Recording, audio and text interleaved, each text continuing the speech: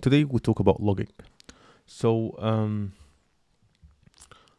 when you try to when you are in, in your system design interview and you try to design a distributed system, you will find the term logging is um, it will be you will come up across the term logging a lot.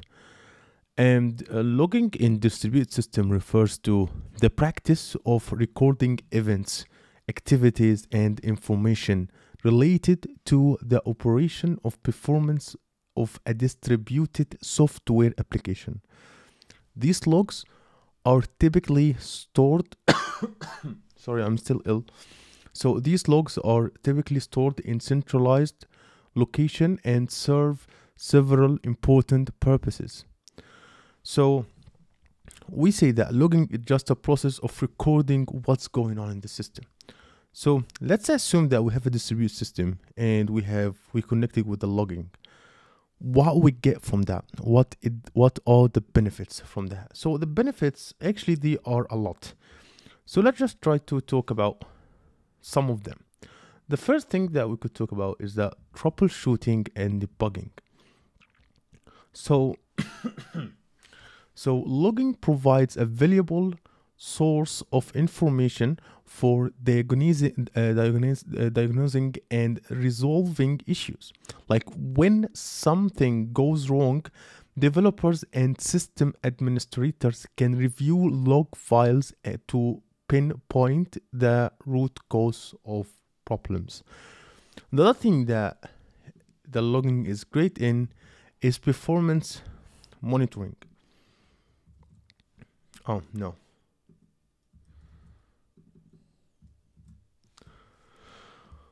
So, logs can contain performance related metrics, allowing you to track the system's behavior over time. By analyzing these metrics, you can identify performance bottlenecks and optimize resources utilization. Also, it's great when it comes to security. Logs help in monitoring uh, security related events. They can record log, uh, uh, login attempts, access to sensitive data, and other potential suspicious activities. Analyzing security logs can aid in detecting and responding to security breaches. It's great also when it comes to audit trails. So, in complaints with regulator, uh, uh, regulatory requirements and best practice, distributed systems often need to maintain audit trails. Logs serve as a record of who did what and when, which is essential for uh, accountability and complaints. Um, also, it's great when it comes to change management, like keeping Oh, no. So basically, uh, keeping a log configuration changes uh, and software updates helps track system modifications. This is valuable for maintaining systems integrity and ensure that changes are uh, correctly applied. It's a great also in alerting and monitoring, so logs can trigger automated alerts when uh, predefined conditions or error patterns are detected. These uh, proactive, uh, proactive uh, monitoring help identify and help identify and uh, address issues before they impact users. So, okay, we know why monitoring it's a great to use, and right now we know a lot of things, reasons to why we're using monitor, but when to use monitor. So, uh, sorry, logging. When to use logging. So, logging should be used in various scenarios in distributed systems. The first thing that comes to my mind will be in the development and testing. So, during software development and testing phases, developers use logging to trace code extension, capture error details, and uh, validate system behavior. Also, we use logging in deployment and operations. So,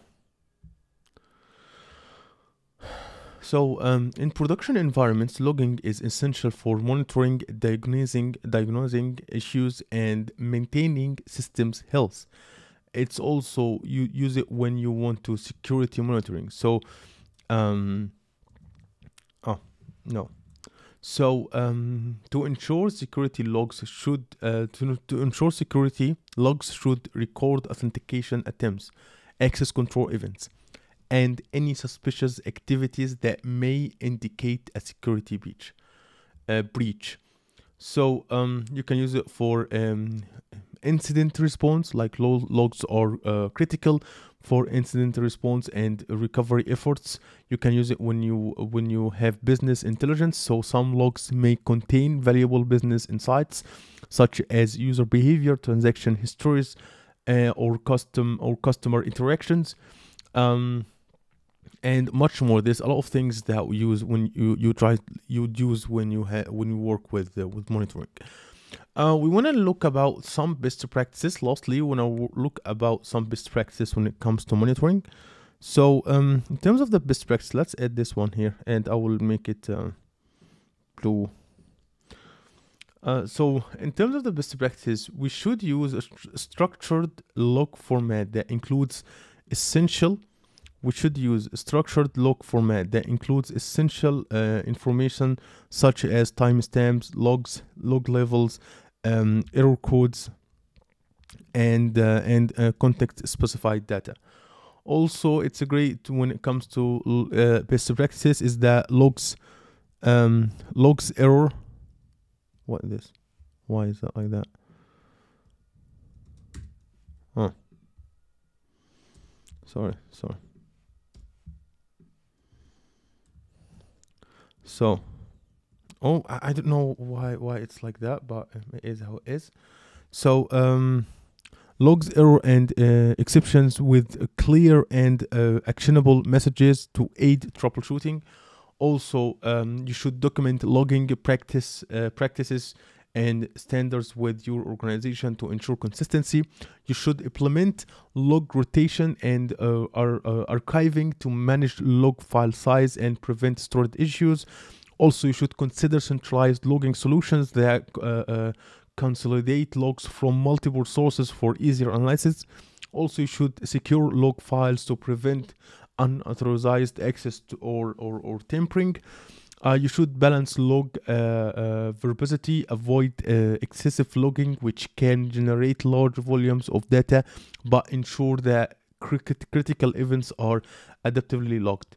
So, um, in conclusion, logging is a fundamental tool for monitoring, maintaining, and securing distributed systems. It helps you gain insights in systems behavior, diagno uh, diagnose problems, and response to operational and securing security challenges effectively. So that's it for today's video, and I hope you like my content. If you like my content, subscribe and hit the notification bell so you'll never miss a video. And see you future problem.